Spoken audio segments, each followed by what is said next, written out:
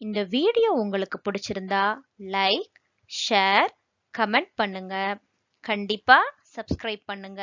Bell பட்டனை click பண்ணுங்க. மீண்டும் சந்திப்போம்.